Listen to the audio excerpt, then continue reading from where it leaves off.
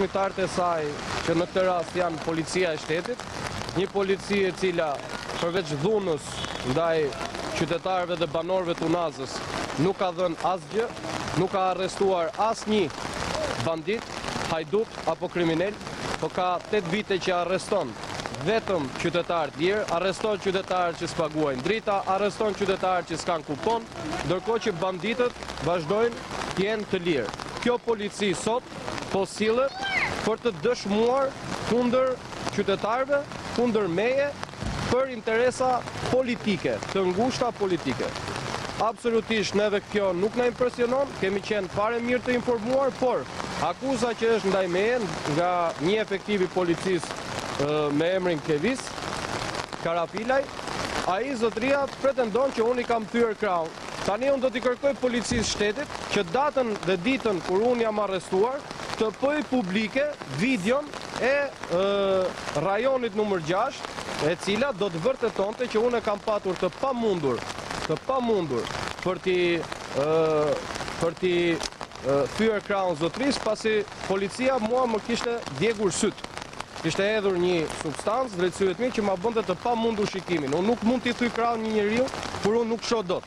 Dhe sot nxjerrin këta individë, Klajdi Shkalla, Arjan Hoxha, Erion Marku, Artan Tushe, Marsel Seferi, Tomor Hasa, Enrik Rama e shumë e shumë të tjerë, përfshi këtu dhe Klevis Karafilajn, të cilët këta e quajnë që këta dëshmitarë, Do të vijnë dhe do të dëshmojnë kundër qytetarëve se kanë protestuar të lirë. Ajo ça dua të di unë është arsyeja pse unë jam shoqëruar. Ajo ça dua të di unë është arsyeja se pse janë arrestuar banorët e Unazës.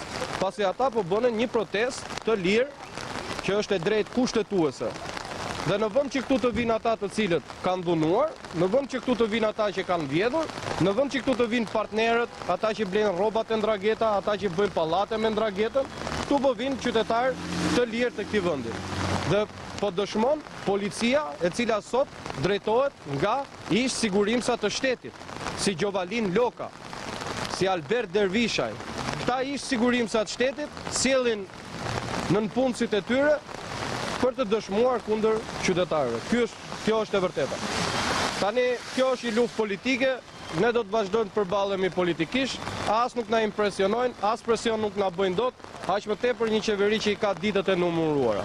Sot qytetarët kanë një alternativë, një alternativë të re, një alternativë të së ardhmes, që e ka dhënë Partia Demokratike me një plan dhe një program ekonomik, kundrejt planit dhe programit të rrënimit ekonomik dhe alternativës të së shkuarës të Edi Ramës.